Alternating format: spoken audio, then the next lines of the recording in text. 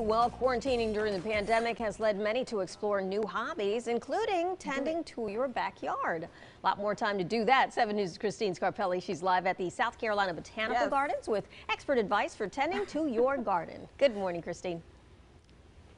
Oh, thank goodness for my expert. Yeah, Kathy, the garden manager down here, she was just telling me, look out for brown, brown. We don't want brown, brown. Green, green is good. Green, brown, it's like a traffic light here. This is such a neat thing. We've learned about everything this morning from watering to things you can do with kids, like these bean plants. What a cool thing to do inside. But Kathy, would you tell us about the plant sale? I know you guys have such a cool thing coming up, and it's one of your big fundraisers. It is. It's our biggest fundraiser of the year. Well, we have a spring and a fall plant sale. It'll be starting, it's going to be virtual this year. Nice.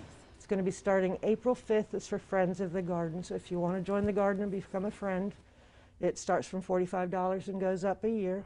Um, that gets lets you shop the first week, April 5th through 12th. You get first dibs on our virtual plant sale. Oh, Um, after that, April 12th or 13th, it's going to be open to the public. That link will be on the garden website. Very It'll be a big banner for the plant sale. You order your plants online. We arrange a pickup time for you.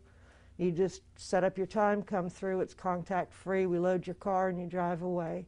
We're going to have everything from we've got blueberries, we'll have fruit trees, all kinds of edible fruits. So We'll- behind us here, this is one of the, because we've been talking yeah, about these, these all are morning. these now are the, I want to tell this people is just a small representation. where we've to got, get 'em. We've got hellebores, delphiniums, um, a gardenia, fatsias, And magnolias. a lot of these you have potted, but then you can plant them outside. and then these are all to go out in your yard. We'll have your summer vegetables, peppers, tomatoes.